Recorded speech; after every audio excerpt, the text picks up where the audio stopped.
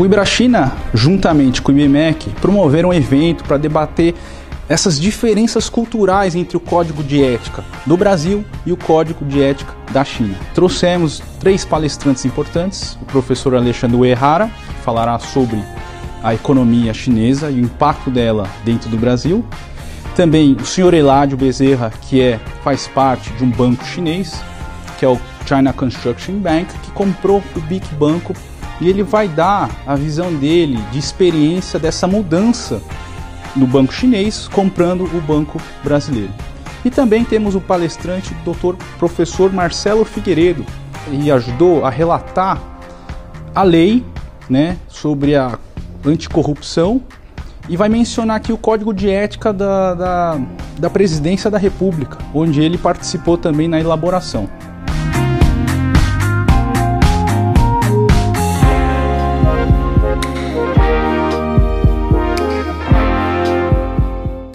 Sabe que hoje, atualmente, a China é o maior parceiro comercial do Brasil, tanto nos investimentos, seja de compra e venda de mercadorias, é, infraestrutura, é, fusões e aquisições.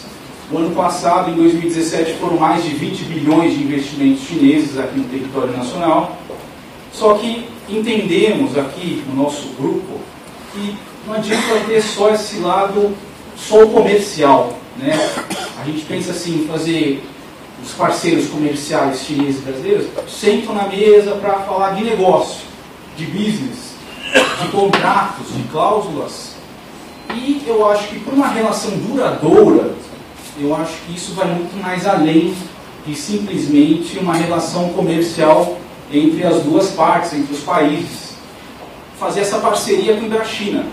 Porque eles entendem que não adianta só essa questão comercial, se a gente não transmitir isso, qual foi a ideia dessa integração do para a China? A China, se você pegar ela, o território dela, é isso. Uma coisa é Pequim, uma coisa é Xangai, que é mais para baixo, outra coisa é Hong Kong. Hong Kong com China, ele já não tem mais essa, esse diálogo. Hoje, Hong Kong, que voltou para a China em 97, depois do Tratado de Nanquim, de 100 anos da colonização inglesa, ela ficou num limbo. Como passar desse sistema para o sistema chinês socialista? Então, uma das, das maiores indagações nessa transformação, como que isso poderia acontecer? E eu tenho muitos amigos chineses de Hong Kong, que são amigos dos meus pais, que falam, meu, agora eu vou, eu vou morar no Canadá não vou mais morar aqui em Hong Kong porque agora os chineses vão tomar conta de Hong Kong. E aí esse processo, um processo de transição, foi combinado já com o governo chinês, o Partido Comunista, junto com o governo de Hong Kong. E essa transição foi uma transição pacífica. Então, esse cenário já aconteceu esse ano, tiveram as eleições é, em Hong Kong e deu empate. O candidato 1, um, que é a favor da China, aproximação da China, e o candidato 2, que é, é, longe da China, que seria afastado da China, um Hong Kong, uma Hong Kong mais com liberdade. E essas eleições deram um empate nesse ano em Hong Kong. Então esse é o cenário que estamos presenciando. É um cenário que a China também tem um poder econômico muito forte em todos os países. A gente tem visto essas guerras, essas barreiras comerciais. Mas, ao mesmo tempo, eu acho que é uma oportunidade para nós, aqui no Brasil, é, construir essa relação com esse parceiro comercial muito forte, que é a China. Uh, uma das, um dos projetos do Ir para a China, que mencionei com todos aqui, meus amigos, que aqui a gente não tem só descendentes de chineses da China. Temos descendentes de chineses de Taiwan, que é uma ilha separada da China, e que historicamente há um conflito muito grande entre a China e, e, e Taiwan. Quer dizer, não se tem um, uma ligação Eh, os taiwaneses acham que eles são taiwaneses, que são é uma outra coisa. E a China, por uma questão de diplomacia, fala que Taiwan é da China. Mas mesmo assim existe aí uma briga histórica. É, Estados Unidos apoia muito Taiwan né, na conquista de uma, uma separação, de ser um, uma ilha nacionalista separada. E, e, a nossa ideia dessa integração é realmente fazer com que o Ibra-China seja uma nova geração. Uma nova geração aqui no Brasil. Porque a gente quer unir tantos os taiwaneses, tanto os chineses que estão aqui a trabalho, os descendentes chineses, os brasileiros que gostam da cultura e têm interesse em lidar com a parte histórica, cultural, é, línguas. É, a gente vai também fomentar, junto com a Suzy que está ali atrás, um curso específico de mandarim para advogados. Quem estiver estudando direito no IBMEC, a gente pode sentar e pensar até nessa possibilidade de parceria de um curso básico de mandarim com termos jurídicos e em especial os acadêmicos que estão aqui hoje. Né? Eu acho que essa geração nossa é o que vai espelhar o futuro do Brasil.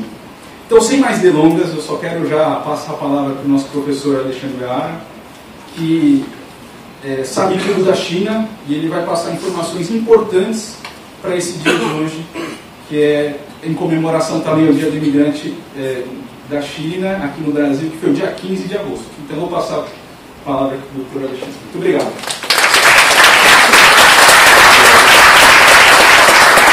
É um prazer poder falar. Né? O, Thomas falou aqui sobre a, a integração, nós já começamos, porque uh, sou descendente japonês, é descendente dele, já estamos integrando, né? a gente remete, chegar na integração. É, e uma das coisas que eu costumo sempre falar, se a gente estou contra a luz aqui, é que muitas vezes, né, uh, uma das vezes, vou dizer um exemplo bem específico, uma vez estava dando aula de manhãzinha, e aí uma aluna me perguntou assim, professor, eu posso fazer uma pergunta? E no começo do semestre, ah, é uma aula, né? pode fazer. Você quer perguntar? Isso lá para a terceira semana de aula. Mas eu estou muito curiosa para saber uma coisa né, sobre o senhor, é que quando o senhor dá risada, né, o senhor consegue enxergar? Já que estou indo contra a luz aqui, bem difícil de enxergar. Então não se preocupe que eu enxergo, está mesmo com o olho fechado, assim, não vou cair aqui. Tá? Fiquem tranquilos. É, mas enfim, a ideia hoje aqui é falar um pouco sobre é, esse processo da China, então, é gente falar sobre o processo de internacionalização das empresas, mas talvez mais do que isso, né? a gente quer quebrar um pouco, como o próprio Thomas falou, a gente quebrar um pouco do tabu. Né? Eu vou falar logicamente um pouco do aspecto histórico, que é o nosso tema aqui, falar um pouco dessa internacionalização, mas eu queria, talvez até mais ao final, abrir um pouco mais é, desculpa o trocadilho, abrir os nossos olhos, né, como brasileiros, para a nova perspectiva das relações com a China. Então, é isso que a gente quer fazer um pouquinho. E para entender esse processo de internacionalização, de abertura do, da economia chinesa, a gente tem que pensar um pouquinho de como que foi essa história, só para contextualizar mesmo. Né?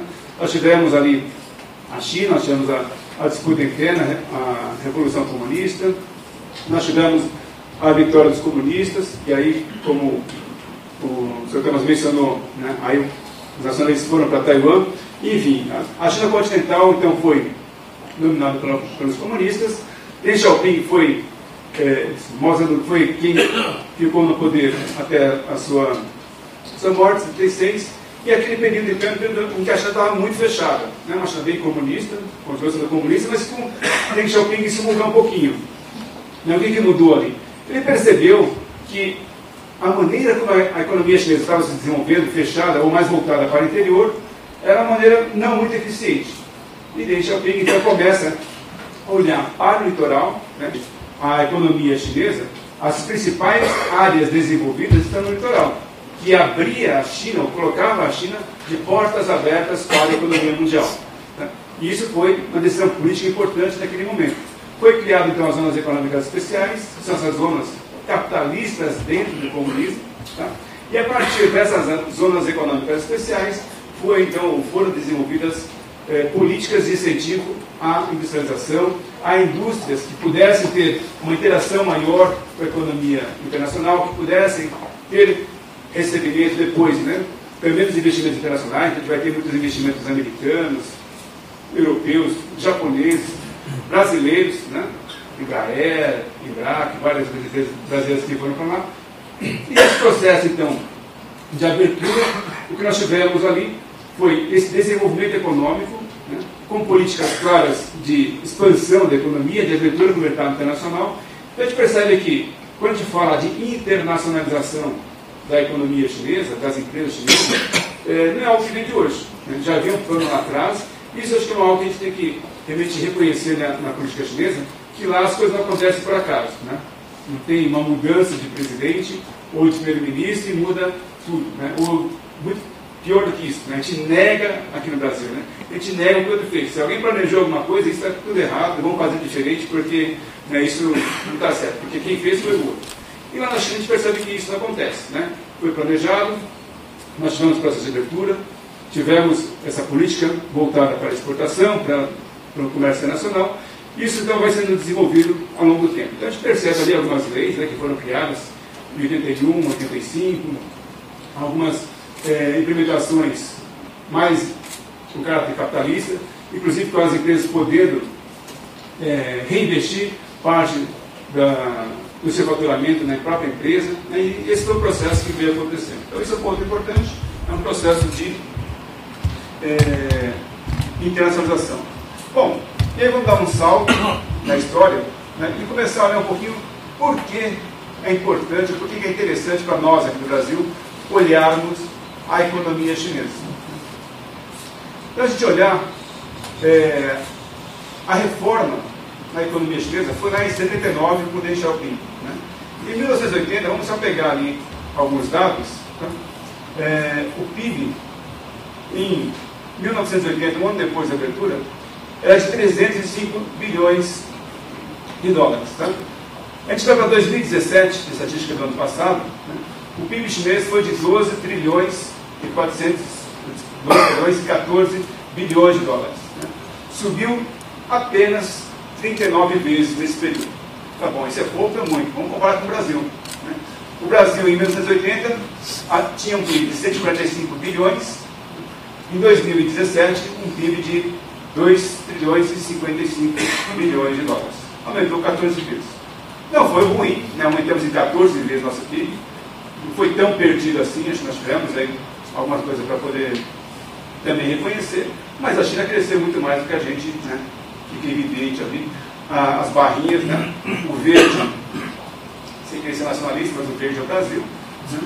Né? E o amarelinho, a China. Então, a gente percebe que assim, há alguma coisa para a gente observar e tentar aprender com os chineses. Né? Alguém que cresceu no mesmo período, é, quase três vezes mais, né? duas vezes um pouquinho mais do que a gente, tem algo para a gente poder tentar aprender ali. É, e além disso, olha só, lá o Kissinger, né, um empresário americano, já dizia que os primeiros 20 anos do século XXI né, representam um período de grande oportunidade estratégica para a China. E só semana passada estava num artigo que nós estamos falando em termos de oportunidade, eles acham que conseguiram aproveitar bem a oportunidade.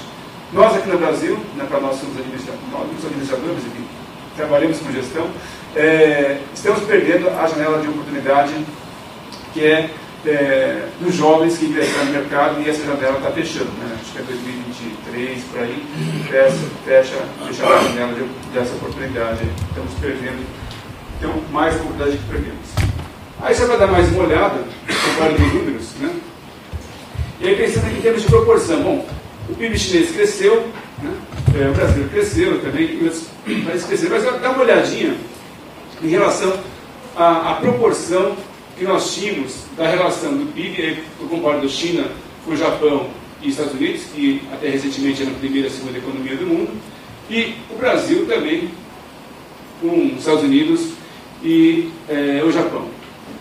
Então, nos pontos máximos ali, né, é, tivemos momentos em que o Brasil chegou a ser 19 vezes menor né, que a economia americana.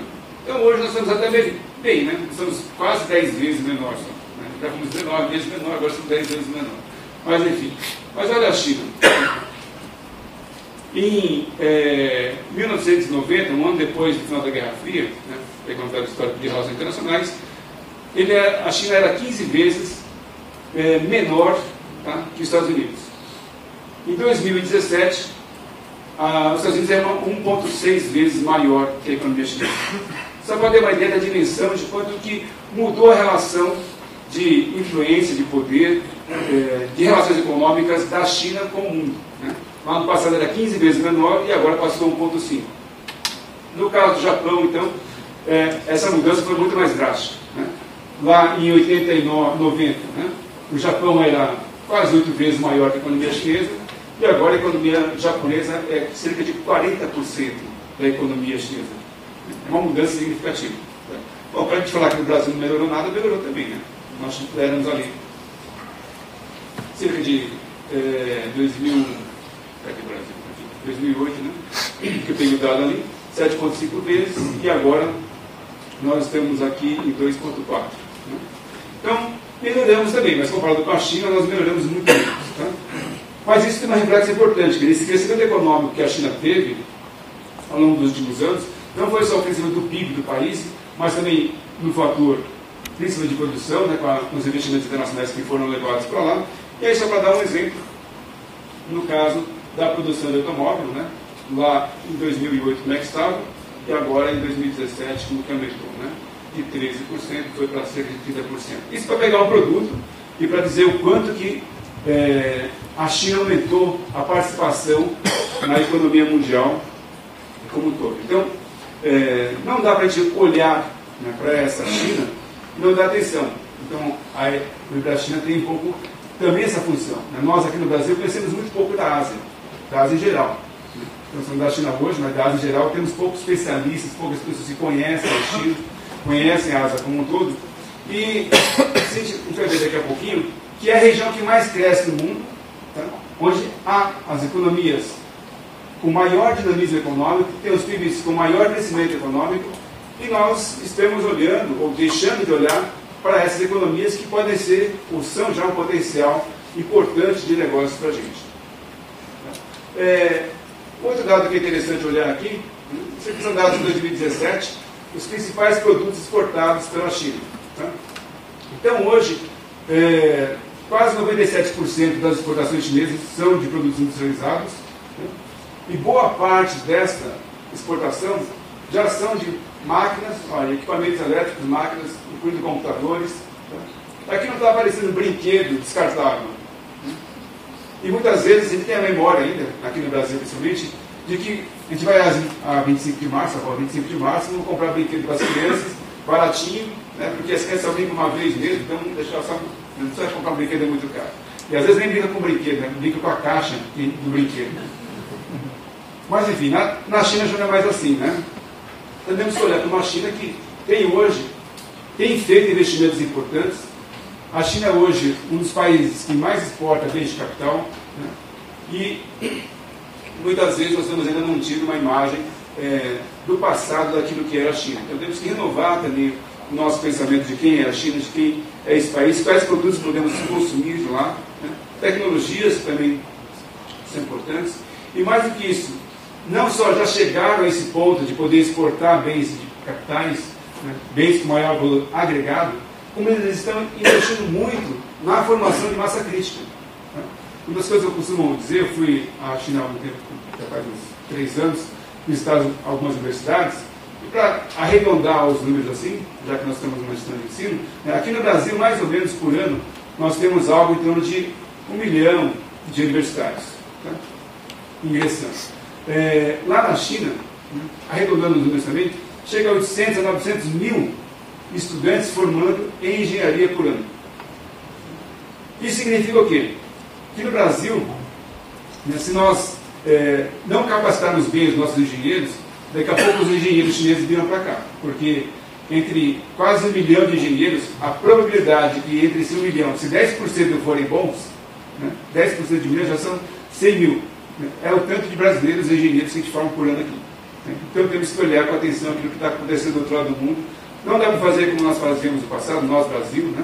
Nós temos um grande mercado, então para nós é suficiente o Brasil. Vamos criar barreiras é, alfandegárias, criar barreiras para o comércio nacional, a gente se. Não dá mais. Se a gente fizer isso, os outros vêm, as empresas vêm, basta ver a quantidade de investimentos chineses que vem acontecendo, de aquisições, de competitividade, de mercado que tem é, sendo conquistado pelo, não só pelos chineses, mas também pelos chineses aqui no Brasil. Então, temos que mudar um pouco a percepção que nós temos da economia chinesa, das empresas chinesas, da tecnologia chinesa e a abertura da China para o comércio nacional. Muitas vezes a gente fica pensando, bom, o que é a China no mundo? Né? É, a China é importante para o Brasil porque é uma das principais parceiras comerciais. Mas é, para nós, a principal e para os outros países também. Né? Então não é só para nós que é a principal parceira comercial. Se a gente olhar ali, né? a gente pegando, eu peguei ali os oito primeiros países, para não ficar muito repetitivo, mas as oito principais economias do mundo. Tá? E para as oito maiores economias do mundo, a China está entre os cinco maiores parceiros econômicos em importação e exportação. Tá? Então, dá para ver, são dados não quitados do ano passado. É, então, para os Estados Unidos, né, está em quarto em primeiro, quarto em, em, mercado e primeiro em termos de fornecedor. O Japão é o segundo em termos de mercado, primeiro como fornecedor. Para a Alemanha, terceiro como mercado, segundo como fornecedor. Pegando os outros países da sequência ali, quinto, sexto e sétimo. Né? Reino Unido, Índia e França. Também, no Reino Unido, a China é o terceiro maior destino das exportações, o segundo maior fornecedor. Aqui no caso da Índia, ainda sem somar Hong Kong, que também é China, com, com a China mesmo, né, que separa ali ainda as estatísticas, né, ainda subiria ainda mais no caso da Índia, primeiro como origem, e no caso da França, terceiro e segundo. Então você tem que, assim, entre as oito primeiras, mas você, se você pegar os outros países, é a mesma coisa, né? Isso vai acontecendo. Então não dá para a gente deixar de olhar para a China e pensar em estudar a China, conhecer mais a China, falar mandarim. Então a gente percebe que, assim, para nós existe uma importância muito grande de a gente estudar a China, conhecer mais, né? E aí a China pode é, nos ajudar nesse papel aí. E a importância da Ásia para o Brasil, não só da China, mas já que estamos falando aqui sobre, sobre a Ásia, né? é, ressaltar que a China é nosso principal parceiro comercial e a China é a principal locomotiva da região. Né? Não dá para pensar o crescimento econômico chinês sem pensar é, nas consequências que tem para a região como um todo ali.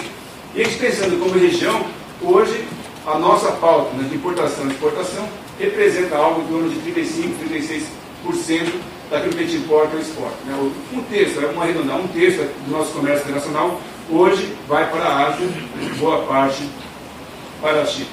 Então, faz todo sentido essa conversa que a gente está tendo aqui. Né? Essa preocupação né, que a gente deve ter em relação à Ásia.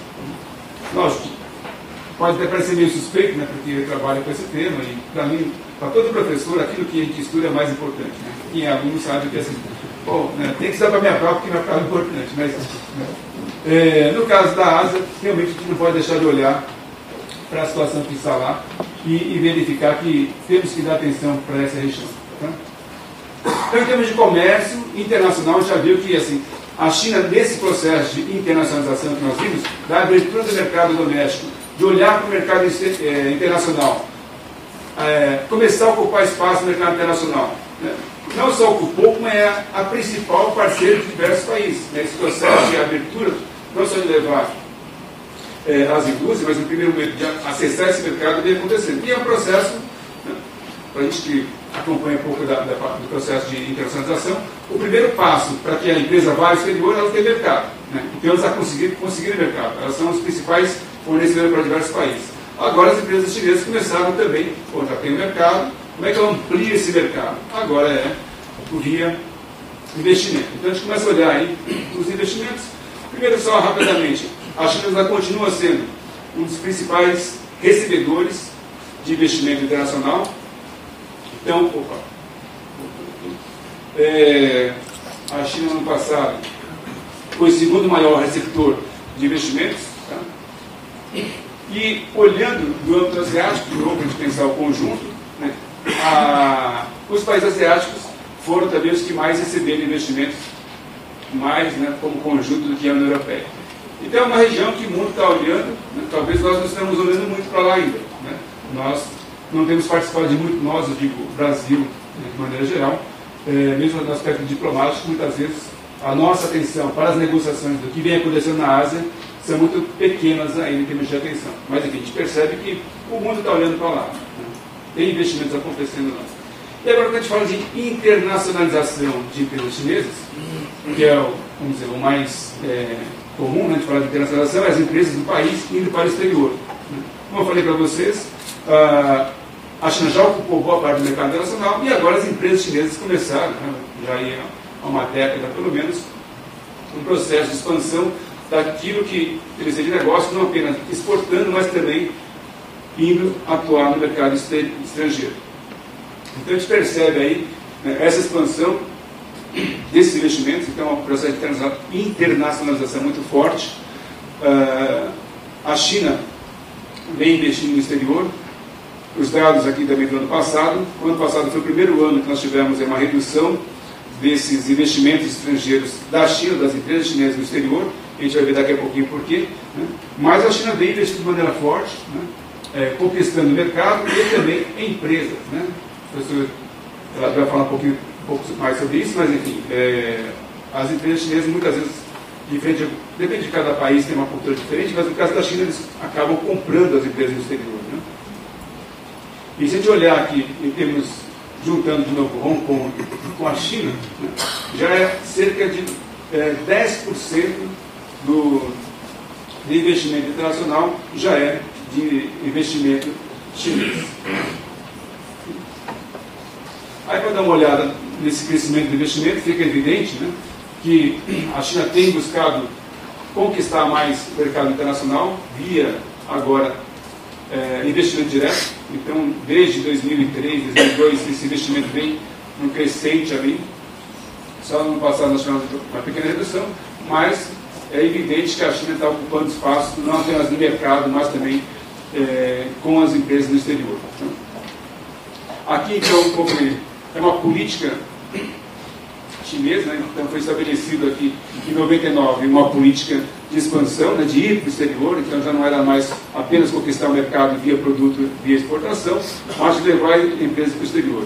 E a partir do momento que houve essa decisão, olha o que aconteceu nos investimentos. Né? Então, é um significativo aumento e a gente tem que olhar isso com cuidado, porque é, eles estão lá e eles estão aqui hoje. Né? A gente vê aí todo o investimento que empresa chinesa, o Sr. Thomas mencionou alguns deles aqui no Brasil, e a gente não pode deixar de olhar para esses investimentos.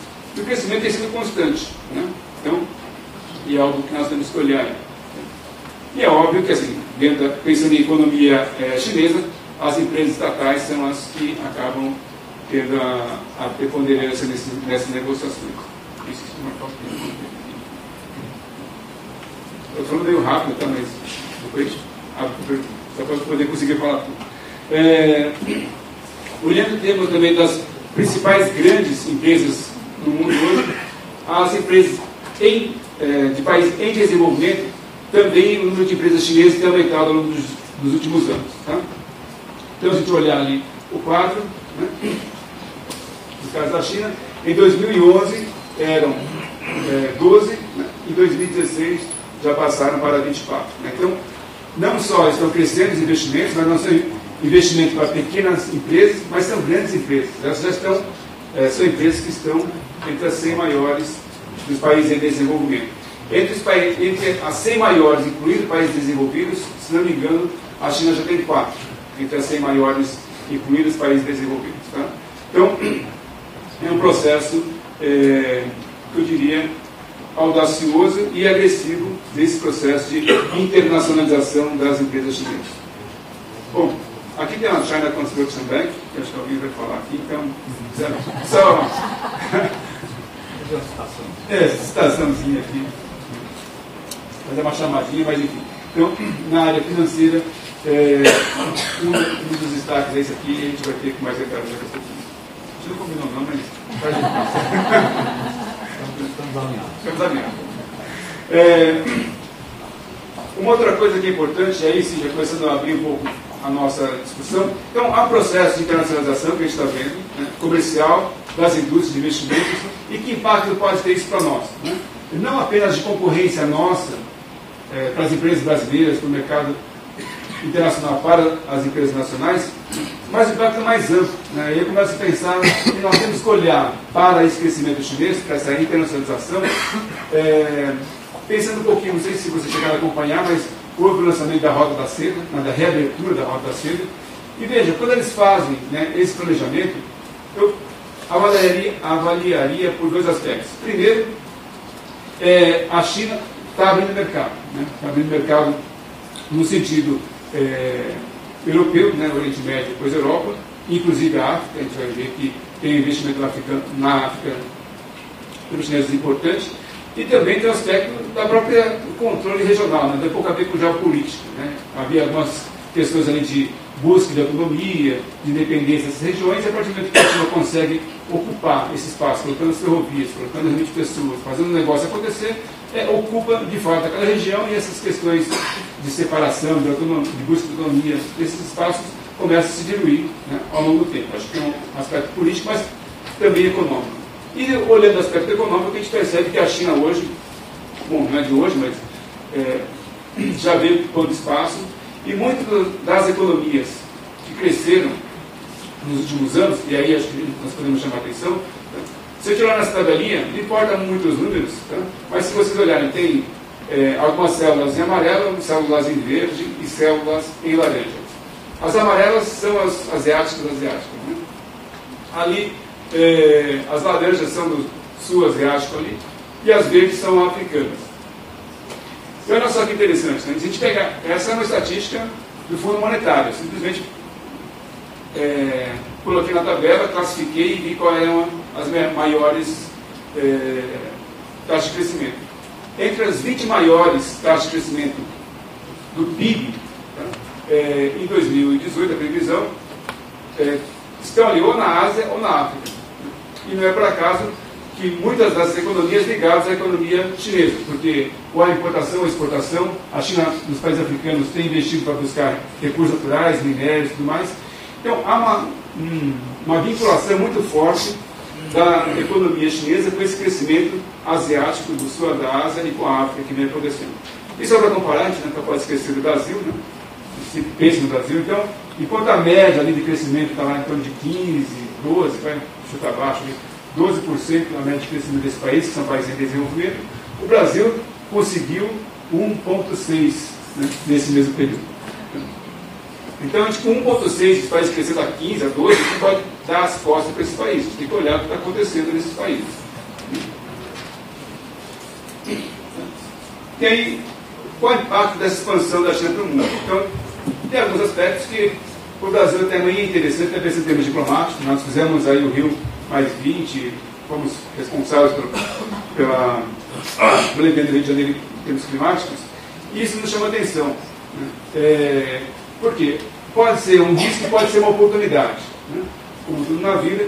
E uma das coisas que me chama a atenção, preparando essa apresentação aqui, é que assim, se nós olharmos nesse gráfico, nós temos hoje na Ásia, né, considerando aqueles países que estão sob ah, o estímulo chinês para crescimento econômico, né? e aí esses países estão aumentando a taxa é, de renda do poder de compra desses países, Vietnã, é, Tailândia, Indonésia, né? países mais do Sudeste Asiático, os países africanos que a gente viu agora há pouco, bom, só os asiáticos representam ali 59% da população mundial.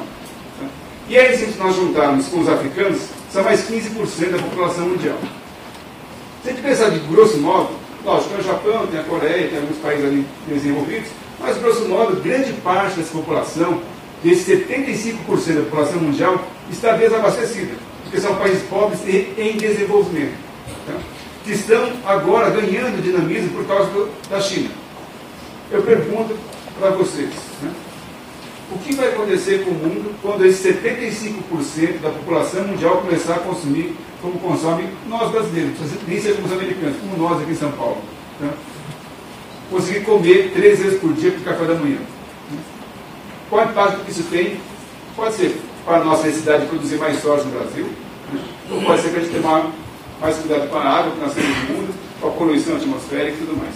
Até agora, tudo isso que a gente está vendo, né, de, que eu suponho que seja pela mudança climática, né, uma nova rota da seda, não só a China vai crescer, uma vai trazer os países do Oriente Médio, pela rota da seda, vai ligar a Europa, que já está já são países desenvolvidos, mas vai ligar a África, né, também no canal de, é, de irrigação econômica, e nós vamos colocar mais, e ali tem os países da Oceania também, mais 75% do mundo para consumir. Né? Bom, isso é uma oportunidade de mercado, a gente pensar em termos de negócio, né? a gente não pode deixar de olhar para isso, porque são 75% da população mundial que pode ser mercado para o Brasil, a gente não pode deixar de olhar, mas também temos que olhar um pouco dos aspectos que podem ter é, ecológicos aqui, só para chamar um pouco de atenção. Para ter uma ideia do que significa ah, o potencial de mercado, de negócio que a gente tem daqui para frente, olha lá, como eu falei para vocês, né, é, 60% da população mundial ainda está nessa região. Países né, com grandes populações e que são países ainda em desenvolvimento. Pensando no Japão aqui, né, os países em desenvolvimento. Então, são países que muitas vezes, na manhãzinha, é, cada pessoa divide meio pãozinho porque tem dinheiro para comer um pãozinho inteiro. Agora imagina quando eles tiverem dinheiro para comprar um pãozinho cada um para tomar café da manhã. Né? Cada um poder almoçar, um, a gente almoça aqui. Então isso vai dar um impacto bastante significativo. O potencial de crescimento que essas economias têm, a partir do momento que eles vão ter o dinheiro para consumir, é muito grande. E é, como eu falei, 60% da população mundial.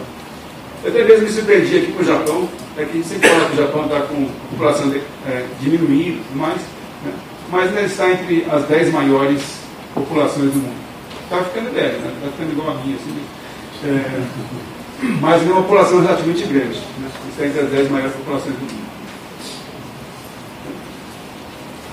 Já caminhando para o final, a gente percebe aqui, em 89, quando acabou a Guerra Fria, nós tínhamos Japão, China e Índia entre os países aqui, maiores economias do mundo. Agora, em 2017, temos China, Japão, Índia, Coreia do Sul, que é, o que é na Oceania, países que estão lá numa área de influência, de é, cooperação com a China, subindo nesse patamar. Então a gente percebe que é, a China subiu, mas ela não subiu sozinha, ela subiu com alguns países que têm relações com ela aqui. E como é que a gente olha para o século XXI? Já caminhamos finalmente aqui. Acho que isso é importante. É, a gente olhar né, de uma maneira diferente. Por quê? Porque até agora a gente tem. Ah, isso aqui é fazer exercício. Só para não ficar só eu falando. Imagine, faça um mapa mental do mapa mundo na cabeça de vocês. Né? Não tem mapa aqui, mas cada um pensa no mapa aí. E aí eu queria que vocês pensassem é, onde que fica os Estados Unidos no mapa. Todo mundo consegue imaginar? Estados Unidos, olhar o mapa mundo, fica aqui lá direito em cima. Né? E é que eu digo para os meus alunos lá, né? A gente tem que parar de olhar o mapa mundo desse jeito. Né? Olhar os Estados Unidos em cima e à direita. Né? Porque os asiáticos não olham mais assim. Né?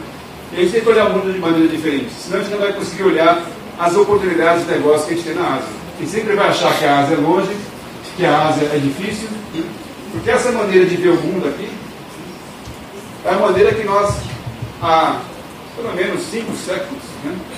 é, há 500 anos aí, a gente tem aprendido. A Europa né? nós temos aqui embaixo, um pouquinho à esquerda, no mapa ali, Estados Unidos em cima, e nós aprendemos assim, né? que os países desenvolvidos sempre estão acima da gente, né? a gente Brasil, né? e a proposta que eu tenho é que a gente tente pensar de maneira diferente, né? fazer uma análise semiótica de como é que é olhar a nossa realidade e começar a pensar mundo diferente para o século XXI. Porque quando a gente olha o mapa do jeito que a gente aprendeu, a Ásia está muito longe. Né? Tem muita coisa aqui no meio. Tem a África, tem a Europa, tem o Oriente Médio, tem o Sul da Ásia. Aí a gente olha assim, nossa, tem todo mundo ali. É mais ou menos como eu falar lá com o pessoal do fundo da sala. Né? Olha, né, até chegar lá, né, a, o diálogo vai passar por várias pessoas aqui até lá. Né? É essa maneira que a gente tem aprendido a ver o mundo. Né? E a proposta é que a gente consiga ver então, o mundo de uma outra maneira. Como os chineses veem. Né? Por que, que a Europa tem que ser no meio? Por que, que não pode ser a China no meio do mundo? Os chineses veem a China no meio do mundo. A China fica no meio do mundo e a partir da China, até pelo nome da China, né? pelo ideograma, para quem conhece o ideograma da China, a China está no centro do mundo. E a partir de uma nova visão. E aí, a gente fala, bom, olhando esse mapa, onde está os Estados Unidos? Bom, agora já mudou, não está mais do lado direito em cima, está do lado, está do lado esquerdo, está do lado direito em cima. Né? Mudou a posição lá. A gente começa a olhar o mundo de maneira diferente. Né? Isso é importante, a gente começar a pensar a nossa realidade do século XXI de uma maneira diferente. É, para isso que a gente está aqui tentando montar novas formas de pensamento. Né? Então, se olhar para o século XXI, pode ser assim, né? pensar, o mapa que eu mais achei o Brasil no meio foi isso aí. Né? Está bem com ele, não. Mas a ideia é tentar colocar o Brasil mais no meio, né? e pensar, bom, Brasil como centro, como é que me relaciono com a América do Norte, como é que me relaciono com a Ásia? Né? É diferente, uma maneira diferente de você tentar olhar a nossa forma de se relacionar. E aí, é, tem outro, é um outro mapa que eu mostro também, mas eu posso antecipar aqui para poupar o tempo.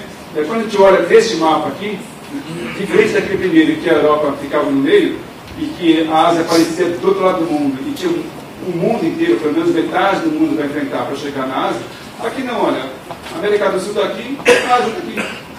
A China é quase nossa vizinha, só precisa atravessar o oceano. Mas é, está do nosso lado aqui, né? E aí é importante o que o, o Thomas falou, né, que até hoje, muitas vezes, a gente é, se relacionou com a Ásia né, via aquilo que os europeus disseram ou escreveram, né, aquilo que os americanos disseram ou escreveram. Né. Eu escrevo um pouco aí sobre a imigração também, e assim, tanto os chineses quanto os japoneses sofreram no Brasil um preconceito muito grande, não porque os brasileiros tinham preconceito, mas porque os americanos tiveram lá uma relação, um episódio ruim né, com, a, imigração é, nos Estados Unidos, e eles transmitiram para cá, para o resto da, das Américas, que os amarelos não poderiam ser jamais incorporados à sociedade, porque lá nos Estados Unidos deu certo. Aqui acho que deu certo, porque todo mundo come sushi no restaurante. Mas, enfim, é uma outra percepção. Né?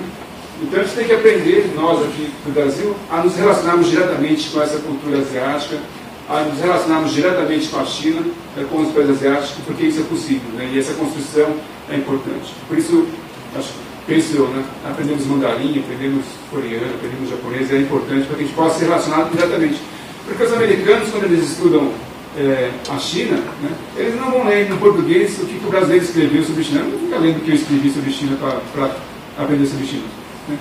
Eles muitas vezes vão lá estudar chinês para falar com o chinês e aprender com os chineses. Né? Eles não vão ler o francês, até ler um pouquinho, mas assim, né, o os franceses escreveram. Mas assim, de fato, né, as pessoas estão sendo preparadas para ter esse diálogo direto, né, e não intermediário. E, ah, eu achei um mapa do Brasil contrário. Né? Aí, por que, a gente pode pensar assim? Né? Por que, que os Estados Unidos têm que estar em cima? Por que, que o Brasil pode estar em cima? Né? Ah, seria muito legal. Os americanos falaram, para onde você vai? Ah, vou lá para cima, vou seguir o Brasil vou, com, vou lá para cima.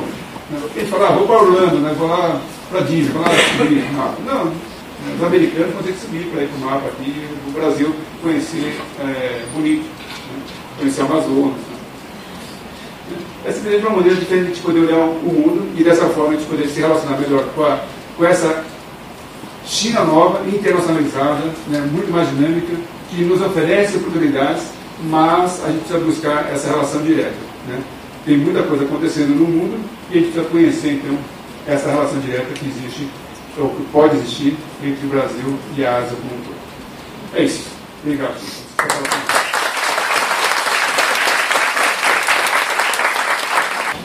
Saudar Thomas, todos os, os colegas que estão aqui presentes, alunos, alunas, todos os presentes. É, nós vamos falar hoje sobre conflito de interesses é, especificamente na administração pública em geral. Né? E por que, que eu acho que a organização deu esse tema para a gente hoje? Por uma questão específica. Eu, eu fui conselheiro do Conselho de Ética da Alta Administração Federal. É o nome que se dá aos conselheiros que é, controlam a ética a nível federal, administração federal.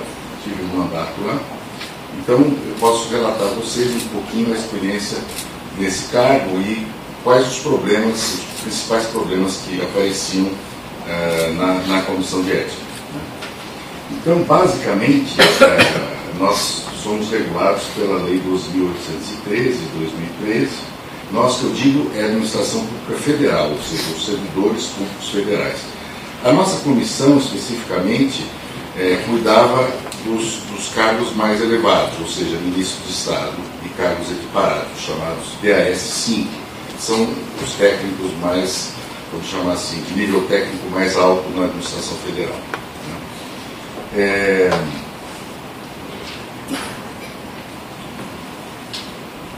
Bom, aqui são apenas algumas ideias de exposição de motivos. Se nós formos verificar, eh, a nível federal, nós temos várias normas é, que regulam a questão ética. Não é apenas essa lei, essa lei eu diria que é a principal, que é a lei que trata dos conflitos de interesse, mas há outras regulamentações, há outras normas também, é, oriundas sobretudo da CGU. Né? É, então, nós temos a CGU e também lembrar que existem uma série de outros eh, órgãos de controle na administração pública. Né? Nós temos aí a Corregedoria Geral da União, nós temos a Controladoria Geral da União, o Tribunal de Contas da União, uh, nós temos os órgãos de controle interno de cada ministério, de cada órgão, seja estatal ou não, enfim temos vários órgãos que cuidam do controle. O que nós estamos destacando, na verdade, é mais a questão do conflito de interesses, o papel da comissão de ética nesse sistema de, de controle da ética. o que é a ética? Eu não vou aqui é, dar grandes definições de ética, né? vou lembrar apenas qual, como é regulada a questão da ética perante a administração pública, como os servidores públicos devem se comportar. Aquilo que é permitido, que é proibido e o que não é recomendado, assim, para que não haja ofendimento à ética. Né? Bom, esses são dois conceitos muito importantes na legislação. Né? É, um é o conflito de interesses, é a ideia de que eu tenho o setor público, domínio público, eu tenho o setor privado. Quer dizer, há interesses legítimos que o setor público eh, leva ao setor, perdão, o setor privado leva ao setor público, e há interesses que, uma vez eu sendo servidor público, eu não posso, eh, vamos dizer assim, eh, conestar, eu não posso aceitar aqueles, aqueles lobbies ou aqueles, aqueles interesses que dizem respeito à minha esfera de decisão. Não é? mais ou menos como o comportamento dos juízes. O juiz tem que ser imparcial. Né? Então, eu, servidor público, eh, gerenciando a, a, minha área de atuação, eh, eu não posso tomar partido, vamos chamar, eh, de uma empresa em detrimento da outra, por exemplo, né? se eu estou fazendo uma concorrência, né? uma estação, etc. Tratar igualmente todas as pessoas. Então, são duas questões que a lei se preocupa. Quer dizer, de um lado, a informação privilegiada, ou seja, eu, como servidor público, na minha função normalmente, sobretudo ministro de Estado, é, recebo uma série de informações né, no meu dia a dia. E muitas dessas informações eu não posso passar ao público, né, porque são as informações é, sigilosas, ou são informações do público. Imagino que um, um ministro da Fazenda ou da Economia não sabe a respeito de variação cambial, por exemplo. Se ele toda hora fosse dar a opinião dele sobre o dólar ou a moeda, isso faria as pessoas muito ricas, ou se ele falasse isso para algumas pessoas né, é, do mercado, faria essas pessoas muito ricas. Então, é evidente que há informações que eu não posso passar enquanto servidor público. Não é? É, quem eu vou? Se eu sou o delegado-chefe da Polícia Federal, por exemplo, imagine se eu conto para um jornalista que amanhã vai ter uma operação e vai prender A, B, C ou D. Né? Essas pessoas iriam fugir, evidentemente. Então, é, é, se eu sou um agente do Estado, eu tenho uma série de, de informações chamadas privilegiadas, da mesma forma é, também no setor privado, vocês conhecem isso, e eu não posso revelar. E mesmo que eu saia da administração pública, eu tenho que guardar esse segredo, por assim dizer, é, por, por muito tempo ou por algum tempo, nós vamos ver. Bom, eu tenho alguns conceitos seja conflito de interesse, né? É, primeiro, um conceito básico, é a situação gerada pelo confronto entre interesses públicos e privados, que possa comprometer o interesse coletivo ou influenciar de maneira imprópria o desempenho da função pública. Quer dizer, aqui já fica claro né, situações em que uh, há um, uma, não uma, uma composição, mas um confronto entre o interesse público e o interesse privado. Né? A outra conceito de informação privilegiada, assuntos sigilosos, ou aquela relevante ao processo de decisão que tenha repercussão econômica ou financeira e que não seja de amplo conhecimento público. Isso é claro, uma, uma decisão sigilosa, uma decisão que não pode ser levada ao público em geral. É, imagina agora nessa negociação da Embraer com a Boeing, né, se os engenheiros lá de dentro começassem a revelar alguns segredos industriais ou algumas informações sensíveis. É evidente que isso iria prejudicar um monte de gente e iria fazer com que outras pessoas com informação privilegiada também pudessem se tornar milionários da noite para o dia, né? vendendo ou comprando essas ações. Bom, quem, estão, quem são as pessoas que estão submetidas à lei? especificamente, como eu disse, né? sobretudo os cargos mais altos das estatais. Então aí nós pegamos Petrobras, é, esses, todos esses problemas, ou todos não, mas uma boa parte desses problemas que aconteceram na Petrobras foram bater na comissão de ética. Muitas vezes nós é, instalamos, todas as vezes instalamos um procedimento ético, e agora dependia muito. Às vezes só, só tinha uma relação premiada, só tinha um depoimento, então nós também não podíamos, às vezes não podíamos agir concomitantemente, e já tinha um processo sendo desenvolvido no Supremo Tribunal Federal. Ah, esse é um outro problema, que não é apenas dessa lei, que é a multiplicidade de órgãos de controle que nós temos no Brasil. Isso não é um problema apenas da ética, é um problema, acho que é um problema do sistema jurídico brasileiro, que para muitos críticos ele deveria passar por um, um lifting, um processo de emagrecimento, né, uma redução muito grande. Nós temos muita gordura aí para queimar. Ou seja, ah, um mesmo fato pode dar ensejo a 4, 5, 6, 7, 8 processos em diferentes esferas. Um ética, outro criminal, outro civil, outro administrativo, etc. Então tudo isso, muitas vezes, atrapalha, por assim dizer, a funcionalidade do sistema às vezes é, dá-se uma ideia falsa de que quanto mais órgãos de controle, mais punição haverá, ou mais controle haverá. Isso não é verdade. Às vezes a superposição de vários órgãos atrapalha o combate à corrupção, por exemplo. Há muita gente que na academia diz que nós teríamos que ter um sistema totalmente diferente ou único, tendo menos órgãos de controle e com mais força. Por exemplo, um super Ministério Público e não tantos órgãos de controle. Mas não vou entrar nesse ponto agora. Bom, a lei ainda diz que é, os agentes públicos devem prevenir ou impedir possível conflito de interesse. Então, na dúvida, o que o agente deve fazer? Consultar a sua comissão de ética.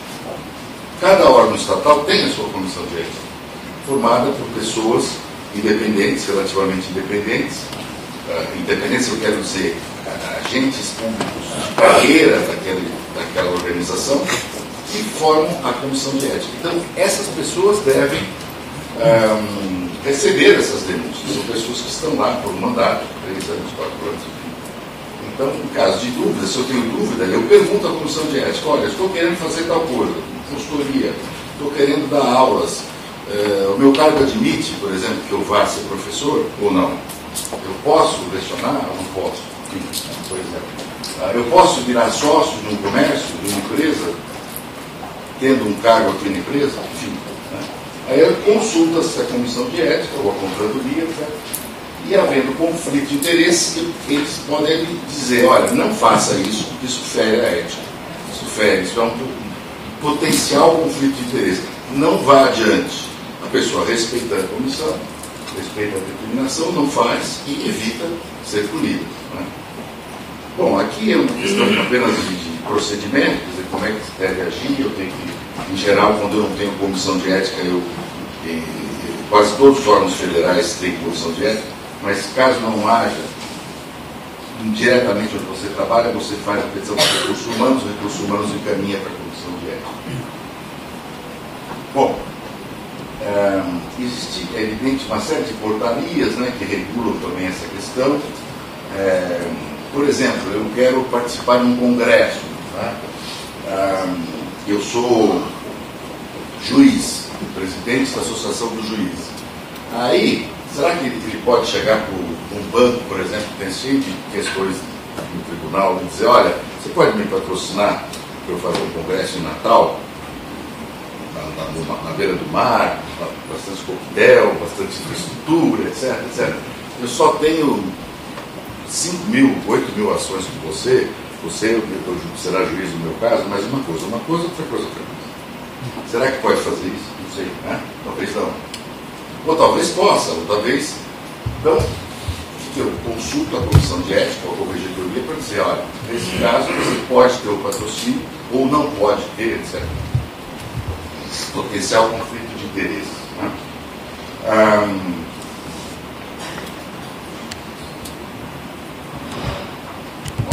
também questões não importa. Aqui eu tenho já algumas definições do que é usar informação privilegiada, e as proibições, exatamente. São os casos mais comuns, né? Então, por exemplo, eu não posso divulgar ou fazer uso de informação privilegiada em proveito próprio de terceiro. Se eu fizer isso, estou cometendo uma infração ética. E posso ser demitido do cargo, posso ser advertido. É, porque a comissão de ética ela não tem uma função punitiva, ela não é um órgão julgador. Né? Ela, ela, ela avalia se houve uma infração ética e o que ela pode fazer pela legislação é propor, por exemplo, a demissão da pessoa, é o máximo que ela pode propor no nível federal. Ela pode mandar para o Ministério Público as provas que ela recebeu, por exemplo, uma denúncia anônima. Isso era comum a gente fazer, às vezes, quando via que era um crime. Você não vai processar, não calpete a você, você manda a autoridade competente que vai processar aquela pessoa, ou aquele diretor, ou aquela ordem.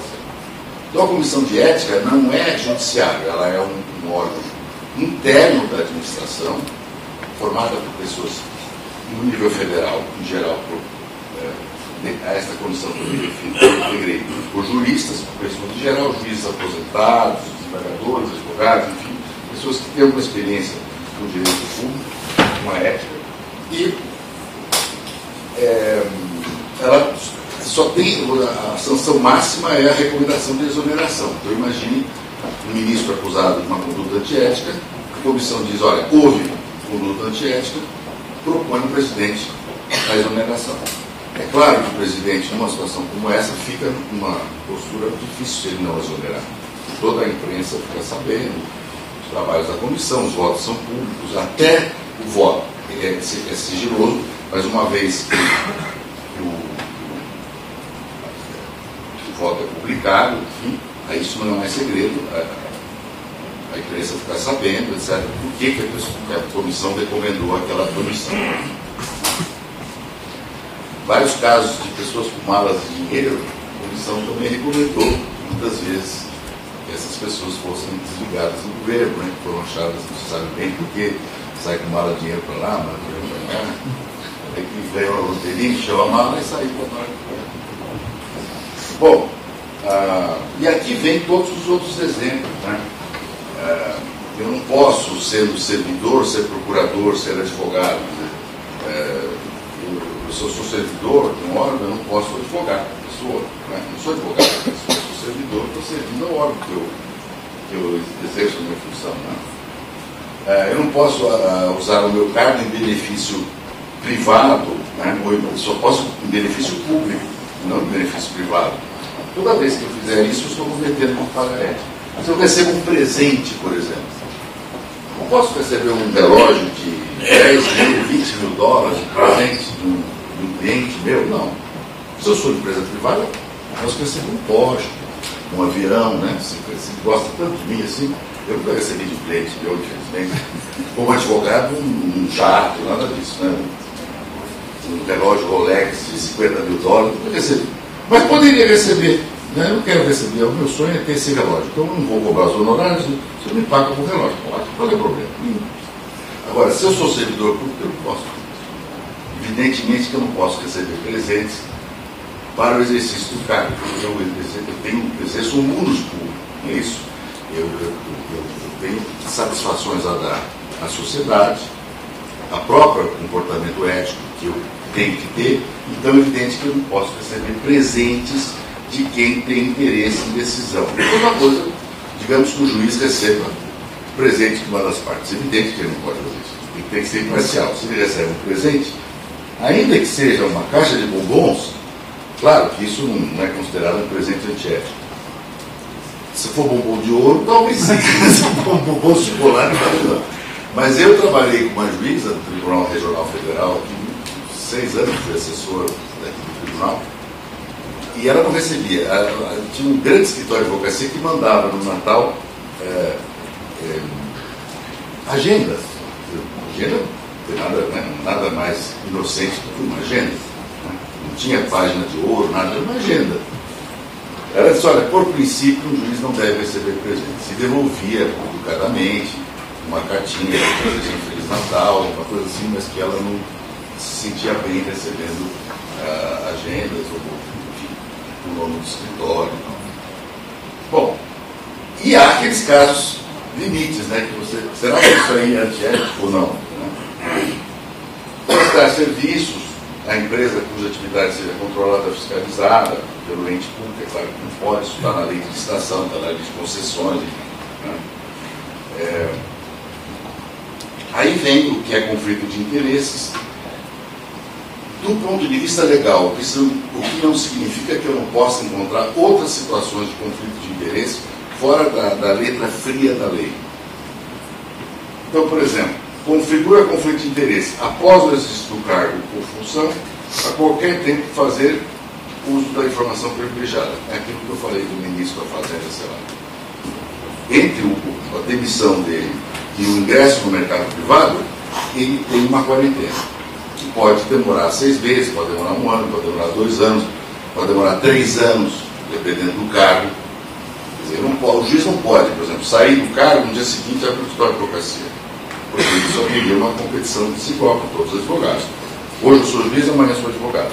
Hoje eu estou. É claro que haveria um problema aí. Né? Ele conhece todo mundo que vai julgar, a favor dele, contra ele, no dia seguinte ele está pleiteando aquilo que ele estava julgando como juiz. Então, a lei tem algumas presunções, alguns, alguns cargos ela dá seis meses, outros cargos um ano. No caso do juiz, por exemplo, tempo maior para poder voltar a advogar, para estar liberado para advogar, né? São situações de incompatibilidade, eu ser juiz e eu ser advogado. Eu tenho que ter um tempo para voltar para o mercado e poder a ideia é que ele possa voltar, entre aspas, com uma igualdade de condições com os outros do mercado. Bom, aqui eu venho, uh, tem uma série de outras condutas, não posso fechar contrato, é, um órgão que eu tenho ocupado, é claro, evidente, né, nessa situação, eu sou uh, diretor da Agência Nacional de Vigilância Sanitária, ou de Anvisa, sei lá. Aí eu saio do cargo, peço exoneração, no dia seguinte eu vou trabalhar naquela indústria cujo, cuja patente eu aprovei do medicamento que eu acabo de aprovar enquanto regulador, por exemplo. Claro que há uma incompatibilidade. Né? E assim por diante. Uh, então, que faz a comissão de ética? Ela avalia, fiscaliza e determina as medidas para prevenir ou eliminar o conflito. Se a pessoa consulta a comissão, ela vai dizer, não faça isso. Ela previne. Se ela fez, evidente, infringiu a ética, a, a comissão pune. Pode punir ou pode mandar para quem possa punir, por exemplo, se cometer um crime, etc.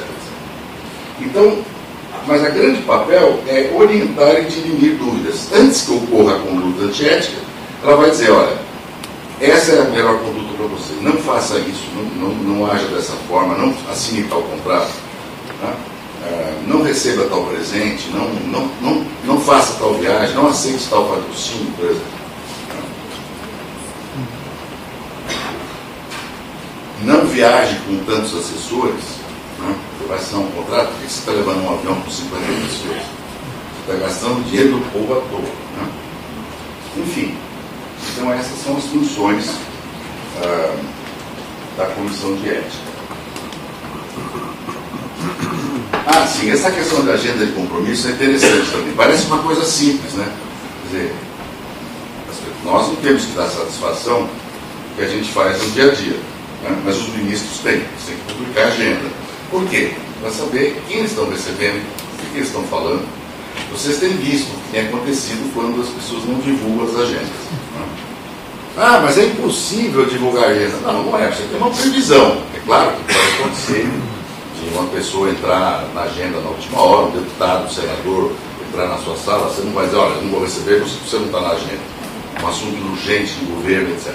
Mas aí, qual é a ideia de divulgação da agenda? É a previsibilidade das pessoas. Se eu sou um, homem público, eu, eu, eu tenho que prestar contas dos meus atos, do que eu faço, do que eu recebo, do que eu converso, etc. Para evitar exatamente problemas antiéticos. Né? Então, essa ideia de divulgar a agenda é, é para isso. Né? Eu tenho uma previsibilidade. Aliás, é interessante que até os empresários privados, muitas vezes, divulgam a agenda. Né? Professores, tal. Olha, minha agenda semanal é essa. Não só com um planejamento pessoal da, né, de cada um, mas também uma ideia republicana. Quer dizer, se eu sou um homem público, eu tenho que dizer, eu prestar contas do que eu faço, como eu faço, que horas eu faço, o que é que eu preciso prestar contas dos meus atos. Bom, é, bom, existe uma chamada remuneração compensatória pela quarentena. Então, em geral, seis meses após a, a saída do cargo, ou estou liberado para exercer as funções privadas que eu quiser, consultoria, assessoria, etc., ou não.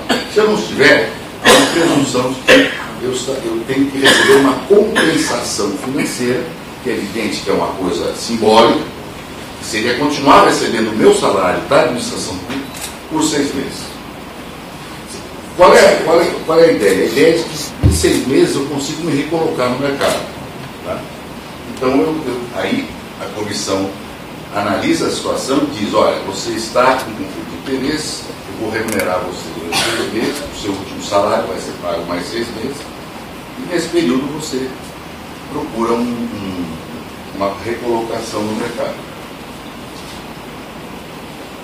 Bom, aqui são outras leis que eu apenas coloquei para lembrar que a questão ética ela, ela é imbricada e, relacionada com uma série de outras leis que não teria como a gente ver hoje aqui. Que são todas as leis, eh, eu diria, dos últimos 10, 15 anos, que vêm regular o compliance, a responsabilidade social, seja no campo penal, no campo ético, no campo empresarial, etc. etc. Então, eu só lembro a Lei 2.846, trata da responsabilização da pessoa jurídica, né? que, que é uma lei, vamos dizer assim, que recebeu um impulso internacional. O Brasil entrou eh, na onda e não tinha como ser de outra forma, em todos os países emergentes, é, tem uma responsabilidade e, e, e como a corrupção é algo internacionalizado, transnacional, não há como um ou outro país aceitar, acatar ou não essa legislação, tem que ser uma legislação mundial, praticamente, fruto dos tratados internacionais que são internalizados no Brasil. Este é o caso desta lei, que também trata da responsabilidade das pessoas jurídicas, etc. Então, hoje, praticamente, é muito difícil eu, eu, eu não ser condenado criminalmente ou civilmente por um ato de corrupção que hoje é transnacional. Qualquer país vai ter uma legislação similar, parecida, responsabilizando as pessoas que praticam corrupção em qualquer desses países.